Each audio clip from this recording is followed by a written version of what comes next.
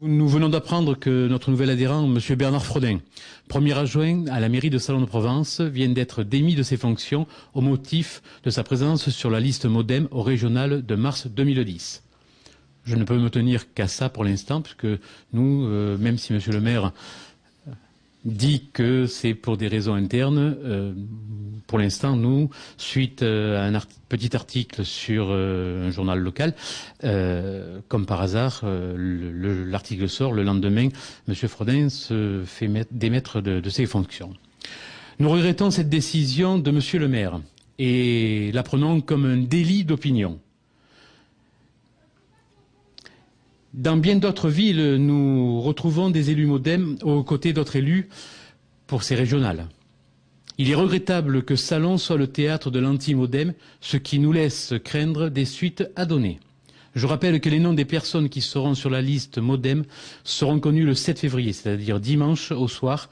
Une réunion est prévue à Marseille. Alors que notre parti a toujours prôné pour l'ouverture, nous regrettons cette décision de Monsieur le maire. Donc, euh, fin de citation. Euh, aujourd'hui, euh, Bernard va s'exprimer aussi. on a ce regret, ce sentiment que la mairie est restée très sectaire auprès de, de notre groupement, parce qu'il faut se rappeler qu'il n'y a pas si longtemps que ça, le MoDem, les Verts et le Parti socialiste étaient autour d'une table où on discutait euh, euh, pour les, régionales. Donc, euh, ce qui est dommage, c'est qu'aujourd'hui, ben, l'ouverture ben, est devenue une, fermeture et un blocage complet. Donc, je vais laisser la parole à Bernard pour qu'il puisse aussi vous expliquer ce qu'il a vécu de l'intérieur, parce que c'est plus Bernard qui pourra en parler. Je ne peux pas admettre qu'un élu, quel qu'il soit, quelle que soit sa notoriété, dise c'est moi qui vais désigner pour toutes les organisations qui sera candidat ou non. Ça, s'appelle du suffrage censitaire.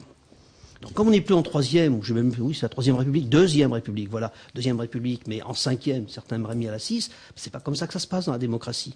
On est face à un déni démocratique, si vous préférez. Voilà. Après, je ne me transforme pas en victime, hein, vous savez, pas du tout. Le problème, il n'est pas là. On est responsable et le moment venu, on a maintenant le temps devant nous pour dire euh, qui fera quoi, comment, à quel moment. Mais il y a des électeurs, il y a des bulletins de vote, il y a des urnes, c'est à eux de décider. C'est comme ça que ça va se passer. Comment vous expliquez que ça arrive comme ça à mi-mandat? De la deuxième, euh, que ce n'est pas arrivé plus tôt ben, C'est une bonne question. Vous voulez que je vous dise à qui il faut la poser? Au maire, à Michel Tonon. Effectivement. Ça arrive parce qu'il y a des régionales. Il vous a pas échappé qu'il y avait des élections et, et qu'au moment où il y a ces élections, moi, je dis, je vais apporter mon soutien à l'organisation que j'ai rejointe. Or, ce qu'on attend, c'est que nous nous mettions comme un seul homme derrière le chef de file désigné par une organisation politique locale, qui est le Parti socialiste, que je respecte par ailleurs. Hein, j'ai des amis, euh, pas ici, peu ici, beaucoup ailleurs, mais euh, comme partout, comme dans toutes les organisations, et il me semble que euh, c'est aux électeurs de choisir. Et si vous préférez, si le problème surgit maintenant, c'est parce qu'on est à deux mois d'une élection, c'est tout.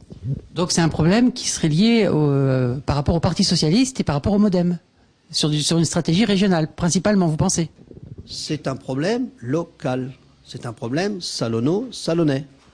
Il y a une candidate du Parti socialiste à Salon, et le maire de Salon considère qu'il doit s'organiser pour qu'il n'y ait pas d'autres candidats de sa liste aux élections régionales. Mais moi, j'ai toujours dit que je n'étais pas candidat. Je vous le rappelle. Et j'ai toujours dit que j'étais à la disposition de l'organisation qui m'avait fait, fait, le plaisir de m'accueillir et que je ferais ce qu'elle me demande.